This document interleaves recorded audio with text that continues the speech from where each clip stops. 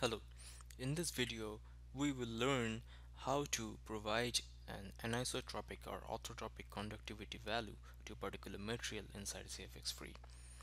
In order to do that, we have to use an external CCL file and I will show you how to use that. Let's say, for example, we have two domains here. The first domain is solid 1 which is using copper as the material and the second domain is solid 2 which is using steel as the material. Now if I go to steel in the material properties and go to the transport properties you'll see the thermal conductivity is a fixed value of 60.5 watt per meter Kelvin. Now there is no way to directly specify a orthotropic conductivity uh, inside CFX pre but what we can do is we can use an external CCL file to generate that.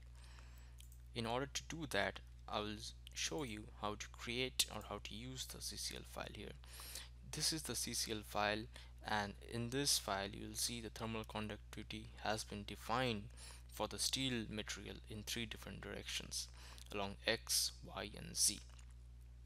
Along the X direction it has 10 watt per meter Kelvin, along Y it is 20 watt per meter Kelvin and along Z it is 15 watt per meter Kelvin.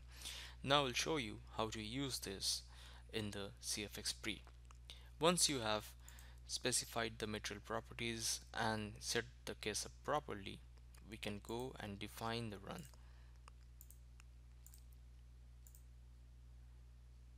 This will create the .def or the .definition file and the panel will open up like this. So once this is done, we can go into the solver setting and in solver arguments, we can provide the information of the CCL file using this command. Steel and ISO is the name of the CCL file that I've saved with.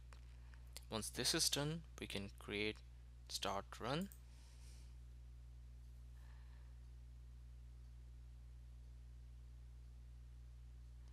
and once the run is done we can go to the top of the out file to see whether the CCL file has been written properly.